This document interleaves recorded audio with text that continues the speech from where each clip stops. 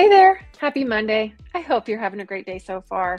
For those of you who don't know me, my name is Kathleen Borsch, and I am the owner and the maker of the products that you find at knotsofgrace.com. Mondays, what I do here is I bring to you a little bit of inspiration in the form of a hug, and that hug comes from this devotional, and it's called Hugs Daily Inspirations for Women.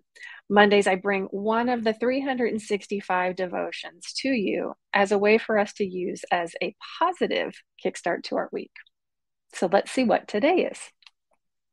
If you're following in your own book, or if you're reading along online, um, you can go to April 20th. Yes, I know, we're going back in time, but I thought this message was perfect for today.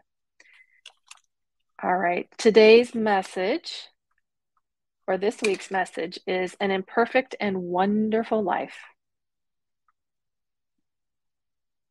the Bible verse is 2 Corinthians 4 8, and it says, We are troubled on every side, yet not distressed. We are perplexed, but not in despair. In the 1950s, Annette Funicello was the most glamorous member of television's The Mickey Mouse Club. After the club closed its TV doors, she went on to star in a string of Disney movies. But Annette's star shone most brightly 30 years after she hung up her Mickey Mouse ears, when she was diagnosed with multiple sclerosis. Discussing her illness, Annette said, Life does not have to be perfect to be wonderful. We should take her courageous words to heart.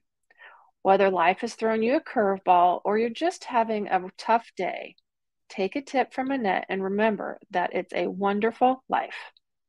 Even during the toughest times, you'll see that your blessings are still too numerous to count. And this week's quote is from Carol Burnett. And she said, I have always grown from my problems and challenges, from the things that don't work out. That's when I've really learned.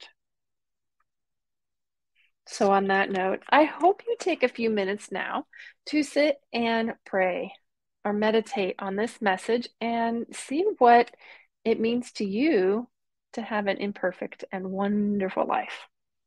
And if you think somebody else needs this message, I hope you share this with them and, and share it on your social media feed so that others can get these messages too.